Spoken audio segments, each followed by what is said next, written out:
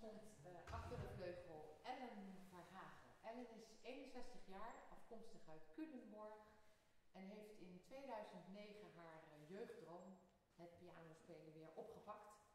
En eh, zij heeft een voorliefde voor minimal music.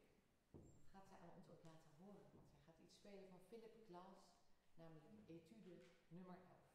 Ellen Verhagen.